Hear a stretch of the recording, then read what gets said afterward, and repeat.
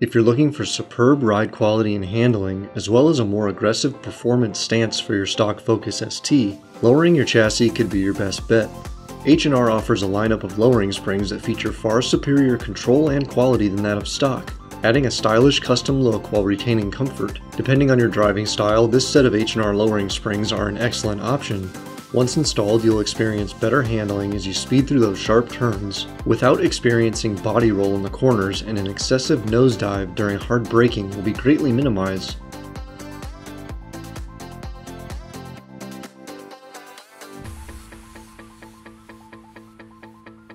Before starting on the front suspension, begin by removing the upper cowling in the engine bay. We removed the one bolt on each side, then pulled the weather strip. Remaining are a few push clips, then lift the top panel up and remove another pair of bolts under the panel.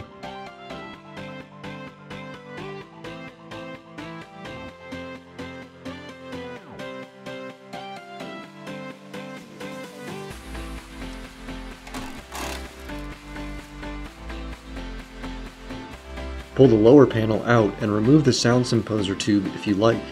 Otherwise you could just move the panel aside to reach the strut bolts. Now we can tackle the front suspension after removing the wheels. Loosen the strut bolts but leave them finger tight for now.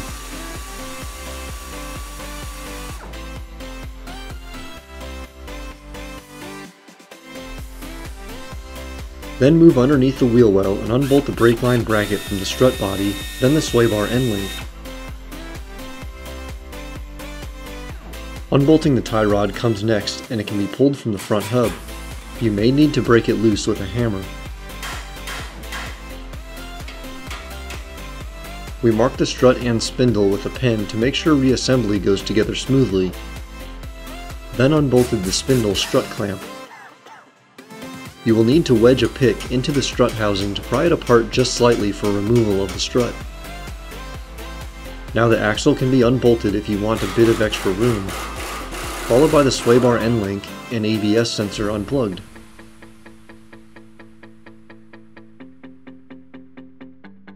With that, you can push down on the spindle assembly to remove the strut from the spindle. This might take some time and force, but stick with it. Then remove the top strut bolts and pull the strut from the car.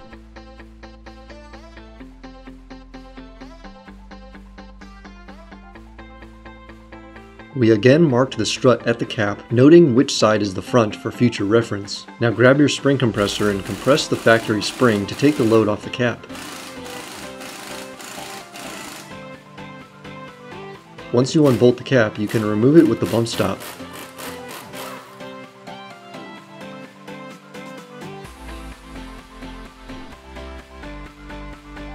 Then pull off the spring. Transfer the spring compressor to the H&R spring and set it on the strut.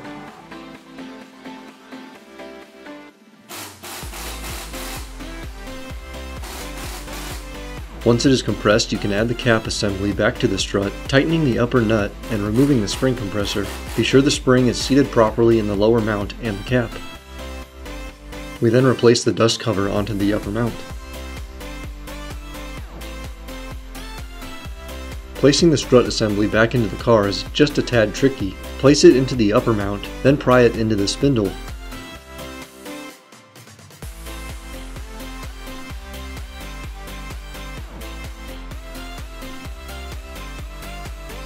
At this point, you can bolt the strut back to the upper mount.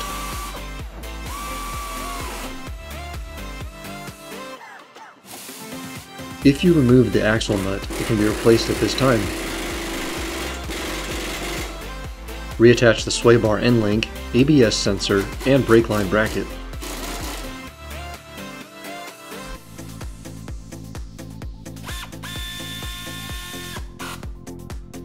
The spindle bolt is next to be tightened down.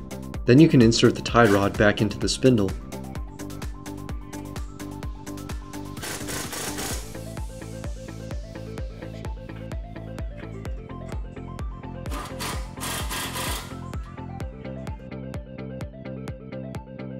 Back up at the top of the engine, our plastic trim can be replaced. Reinsert the sound symposer tube, but be careful if you pull the hook not to tear it.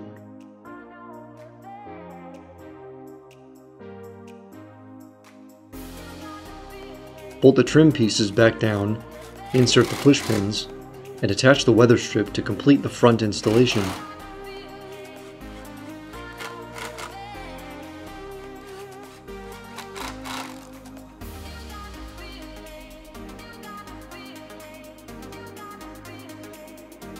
The rear is much less involved than the front.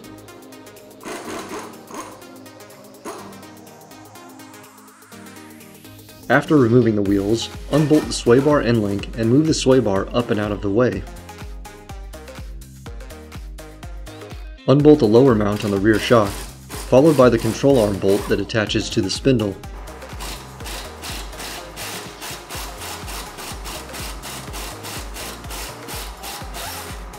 Pry down on the control arm to free the rear spring.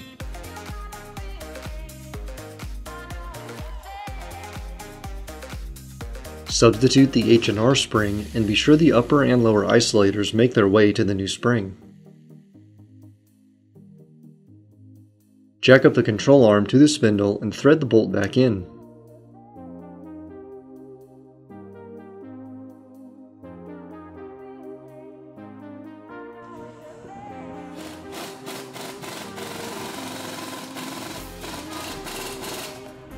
Then the sway bar can be reattached. And yes, we upgraded the sway bar at this time as well, but your install won't be changed by that. Lastly, you can jack up on the control arm to raise the rear end enough to bolt in the rear shock, finishing the installation.